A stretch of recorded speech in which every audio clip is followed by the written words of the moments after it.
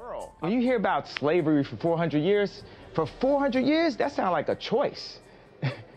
like, you was there for 400 years and it's all of y'all? What?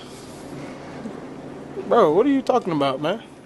Black people have been discriminated against in America since before it became a country.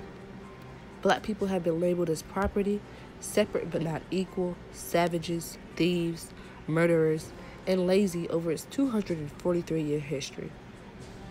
Initially being the backbone of the construction of the country and its primary source of labor, black people have always faced the brink of discrimination simply because of the skin color and abilities. They were hanged, whipped, beaten, sexually assaulted, impregnated, sold, and separated from their families for the 246 years that slavery was legal here in the United States. The first set of slaves were brought to America in 1619, when approximately 20 Africans were brought to Point Comfort, Virginia. Slavery didn't officially end in all states until December 1865, when the 13th Amendment was ratified. Why do you have to lose? You're living in poverty, your schools are no good, you have no jobs, 58% of your youth is unemployed. And people believe that, specifically white people believe that racism is a thing of the past. They don't believe that it exists in modern society. When in reality, black people and many people of color go through many different types of discrimination daily. Um, black people can be discriminated against in the leisures of their own home, driving, or simply just being around in public. My best idea of trying to get this message passed that racism, racism still purely exists in modern society today is to give you testimonies of many different people and many different backgrounds and um, try to show you how they've gone through discrimination even in the simplest of times. Um, and I will also give a testimony myself. Hopefully, you'll understand that racism is not a thing of the past and it's still it still is active in society. And every day that we ignore it and we pay no mind to it is a day that we've allowed for racism to still continue in our society and it will affect many different generations after us if we don't take a stand now. Of course, being a rather large black man, uh, a couple of years ago, I was at Wingstop and this little girl was behind me and she kept staring at me. And, you know, pretty tall, big guy. And um, she said, Daddy, Daddy, that's a big black nigga right there. So her dad looked at her, he kind of spanked the bottom a little bit, and that was it. He tried to apologize, whatever, which was cool, but that more than anything let me know that you're raised into it. You have to be taught that. I was in my um, computer science class with my other African American friend, and we were just working talking, getting our classwork done, where um, a uh, Asian, one of our Asian classmates, decided to use the N-word multiple occasions we asked him to stop. And we, only reason that he stopped us was us by telling the teacher. So there was one time I was visiting my family in Pickens, Mississippi. I was a little elementary girl. Um, Pickens is a small rural country town in Mississippi where the majority of the population is black.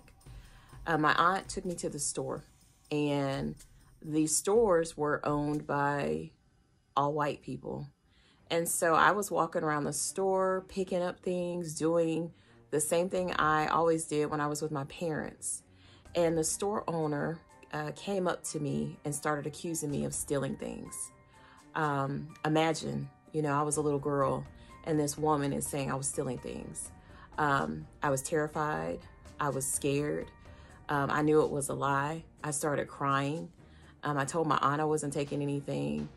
And at that moment, I recognized that it wasn't um, that she had anything on me, you know.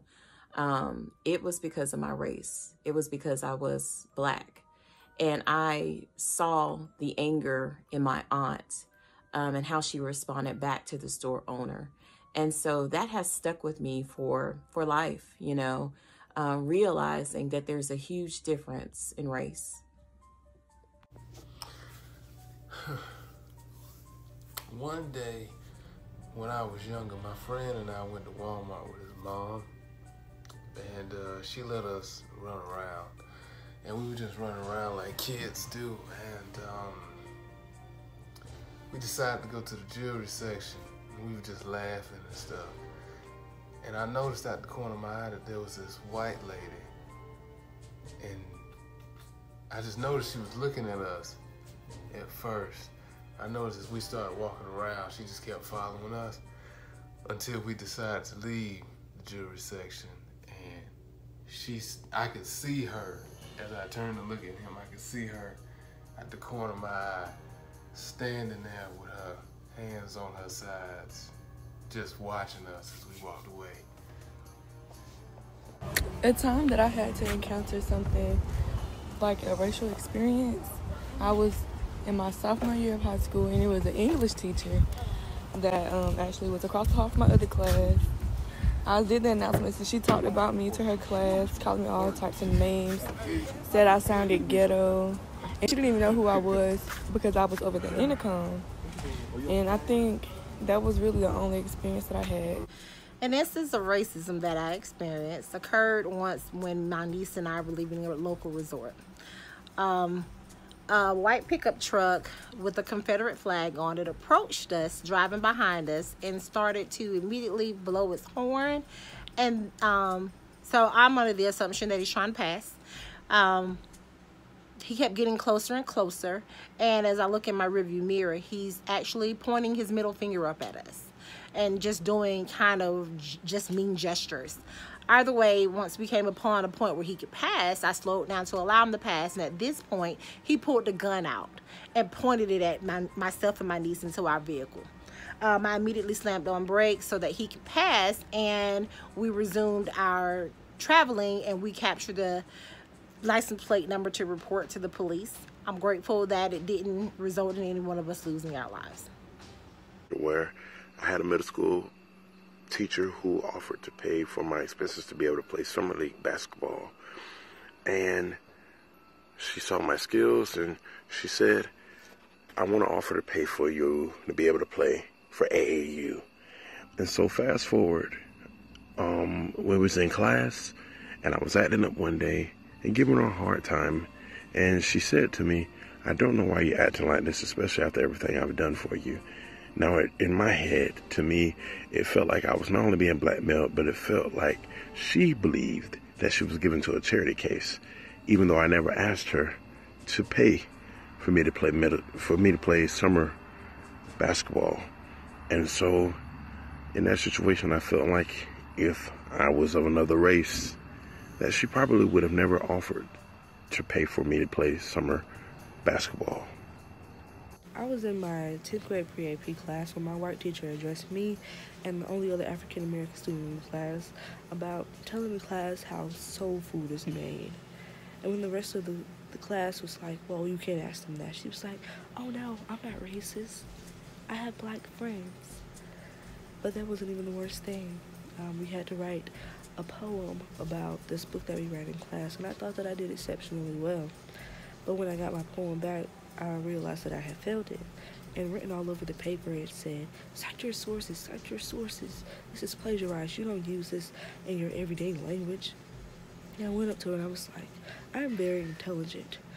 Um, I don't have to speak um, using big words in my everyday language to appease others.